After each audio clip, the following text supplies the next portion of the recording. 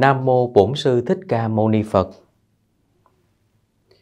Kính bạch chư tôn đức tăng ni, kính chào quý vị. Quý vị đang đến với bản tin thời sự 20 giờ của kênh Thông tin tổng hợp Phật sự online. Hôm nay thứ ba, ngày 23 tháng 4 năm 2024, tức ngày 15 tháng 3 năm Giáp Thìn, bản tin sẽ cập nhật những tin tức Phật sự nổi bật sau đây. Cần Thơ, lễ tưởng niệm cố trưởng lão hòa thượng Thích Huệ Trường tại chùa Phổ Quang. Các địa phương triển khai Phật sự trọng tâm thời gian tới. Thành phố Hồ Chí Minh, lễ sám hối định kỳ tại chùa Giác Ngộ và Quan Âm Tu Viện. Thái Lan, lễ cúng dường 10.000 chư tăng tại Đại giảng đường Wat Phra Dhammakaya. Sau đây kính mời Chư Tôn Đức và quý vị cùng đến với những thông tin chi tiết.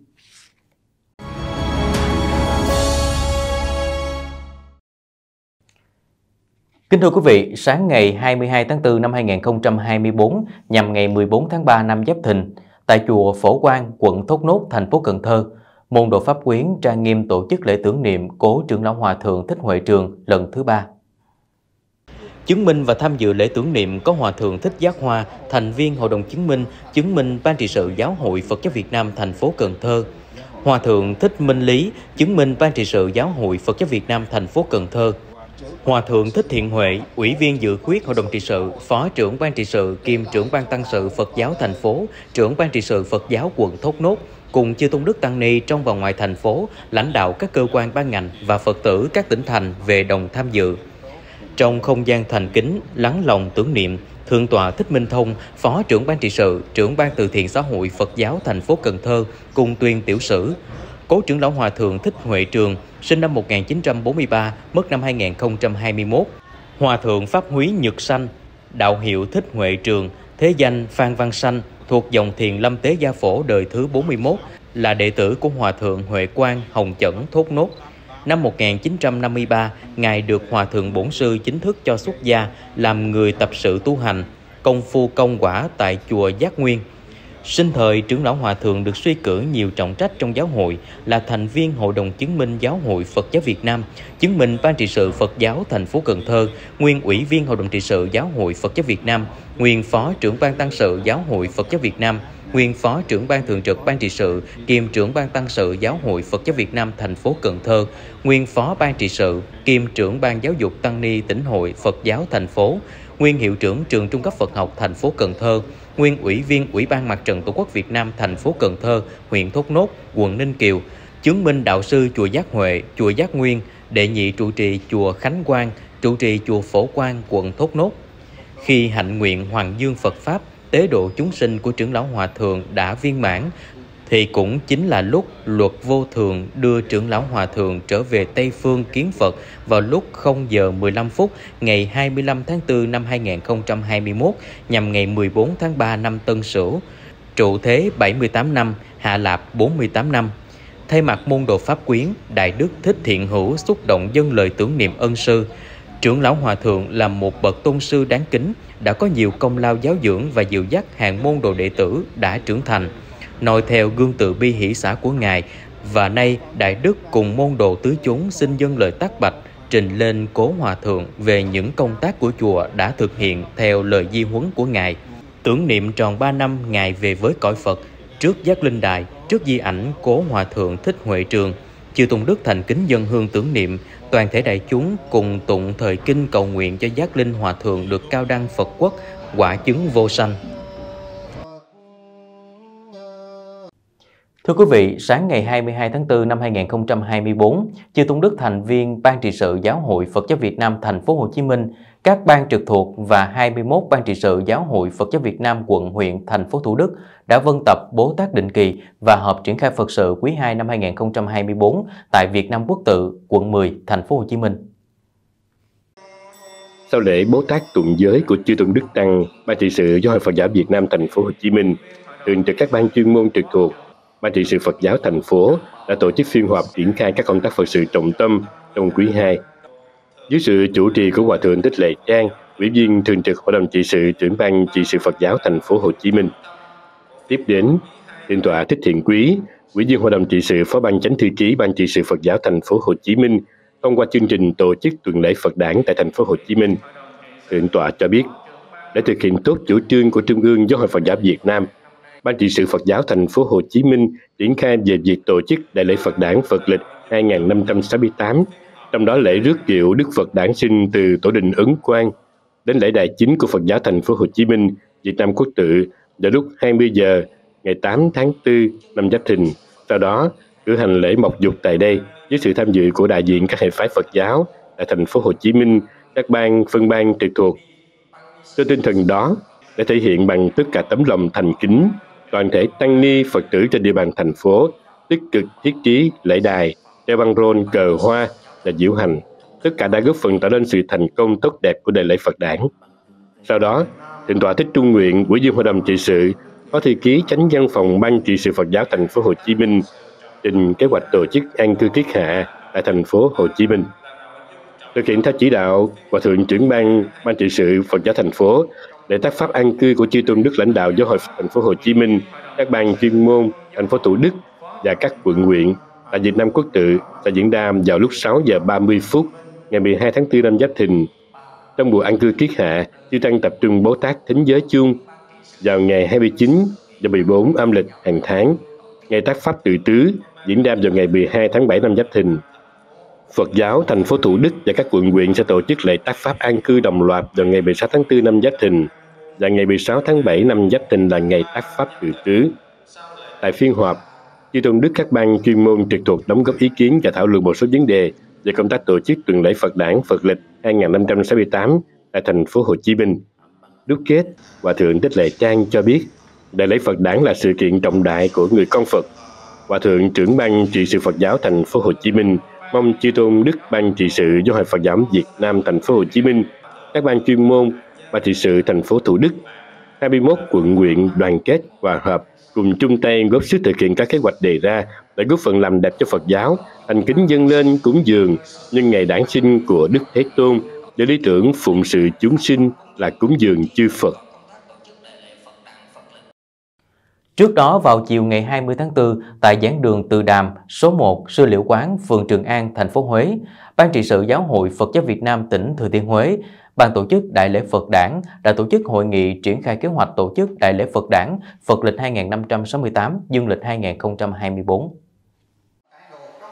Theo kế hoạch triển khai, tuần lễ Phật đản Phật lịch 2568, dương lịch 2024 sẽ được Ban trị sự Giáo hội Phật giáo Việt Nam tỉnh Thừa Thiên Huế tổ chức từ ngày mùng 8 đến ngày 15 tháng 4 năm Giáp Thìn, tức ngày 15 đến ngày 22 tháng 5 năm 2024, với nhiều hoạt động như lễ thắp sáng bảy hoa sen trên sông Hương, diễu hành thuyền hoa, lễ mộc dục và rước Phật từ chùa Diệu Đế lên chùa Từ Đàm, phóng sinh đăng, triển lãm văn hóa Phật giáo, văn nghệ cúng dường, tụng kinh, tọa đàm, diễn giảng chính pháp, đặt vòng hoa tưởng niệm tại Đài Thánh Tử Đạo và Nghĩa trang Liệt sĩ, thăm viếng và tặng quà thân nhân Thánh Tử Đạo, các gia đình có công với nước, thương binh, các gia đình liệt sĩ, các gia đình có hoàn cảnh khó khăn, các cơ sở nuôi dưỡng trẻ em khuyết tật, mồ côi, trại dưỡng lão, bệnh viện cùng nhiều hoạt động ý nghĩa thiết thực khác.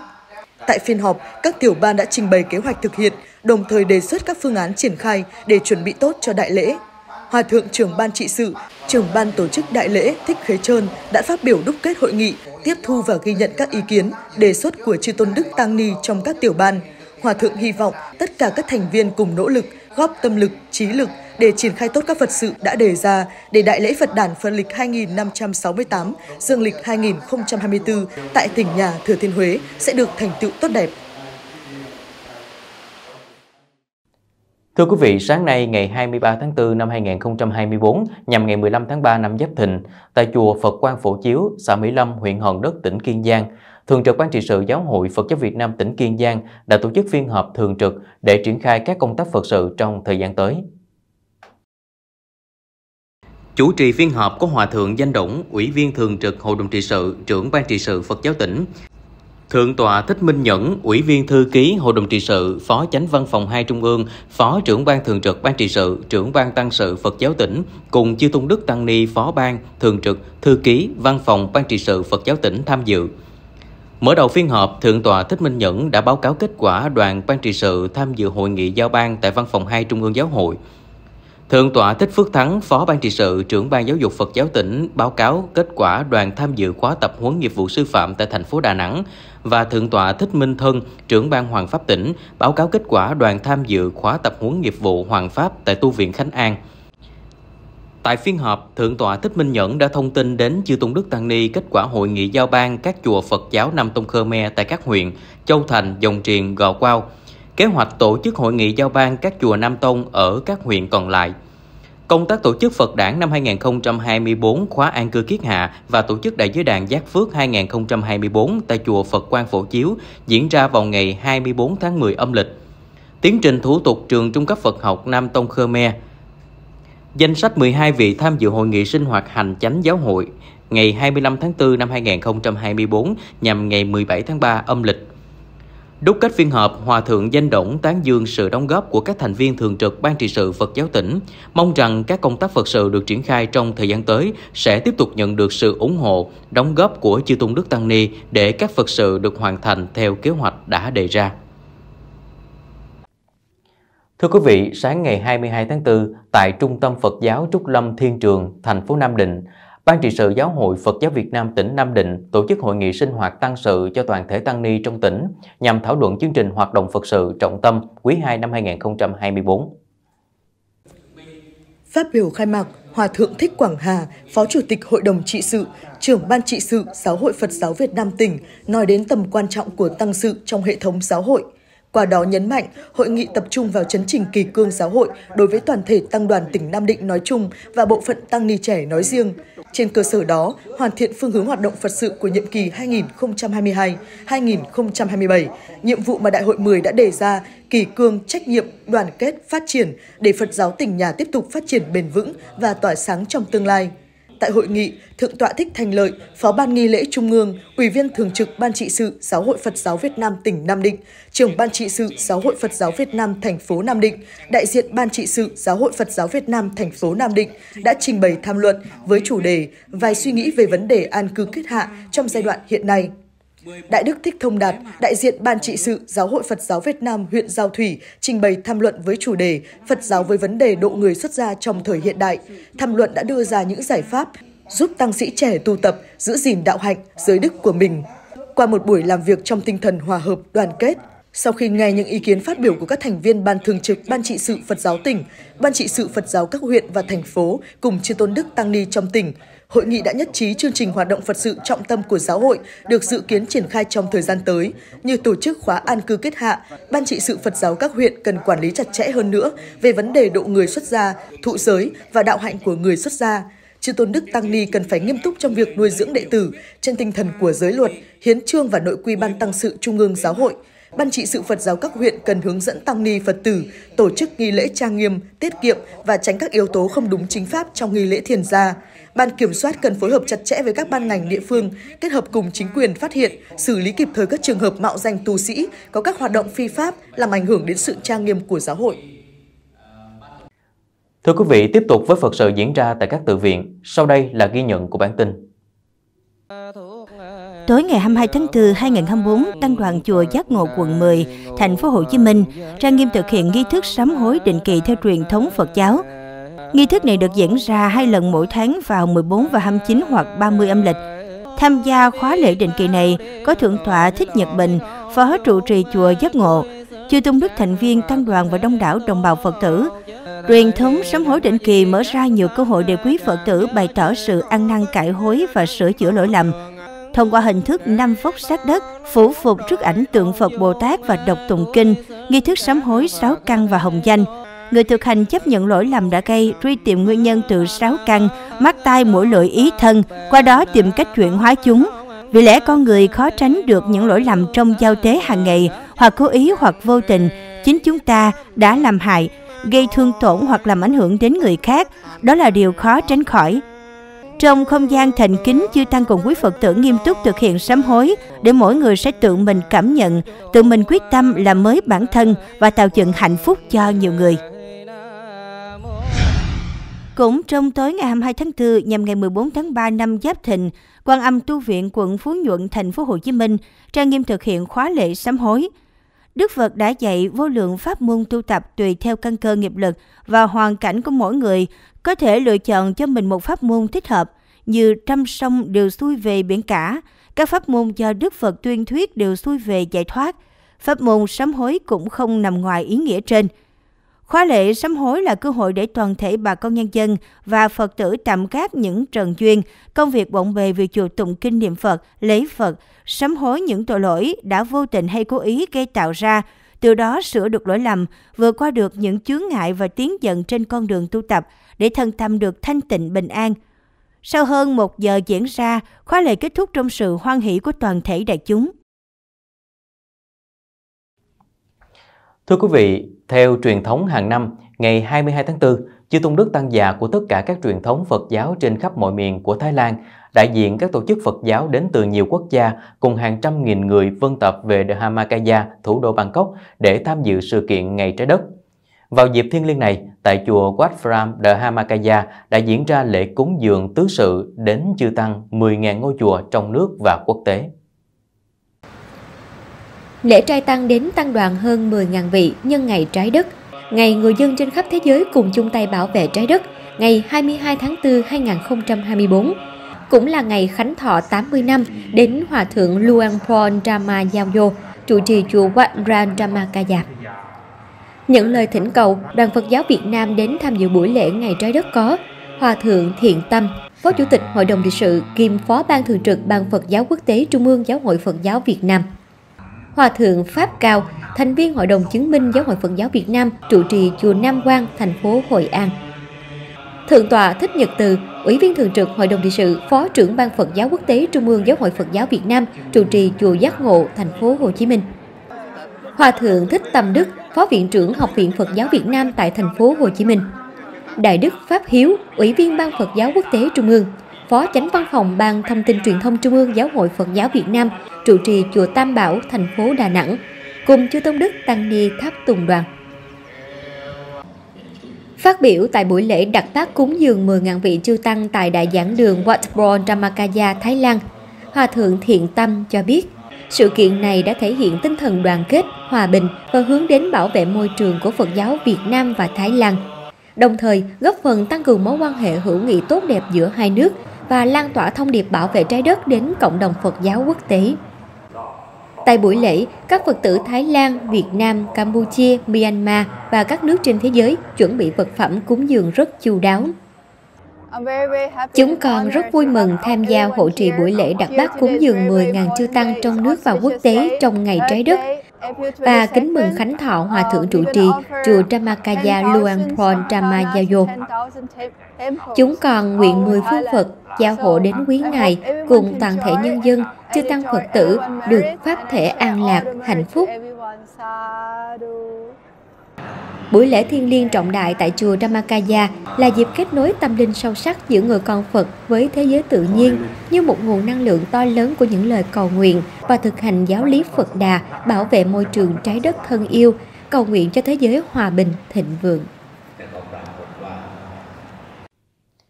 Cuối chương trình kính mời quý vị cùng đến với phần dự báo thời tiết cho đêm nay và ngày mai.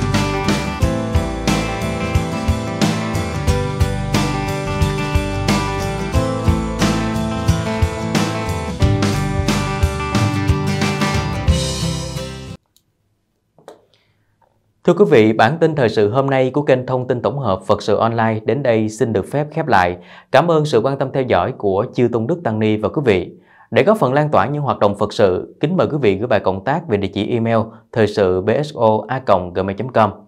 Nhân ngày rằm tháng 3 năm Giáp Thìn, kính chúc quý Chư Tôn Thiền Đức Tăng Ni, Pháp Thể Khinh An, Tâm Thường An Lạc, Phật Đạo Viên Thành. Chúc quý vị Phật tử vô lượng an lạc, vô lượng cát tường. Xin kính chào tạm biệt và hẹn gặp lại trong các bản tin kỳ sau. Nam Mô Bổn Sư Thích Ca Mâu Ni Phật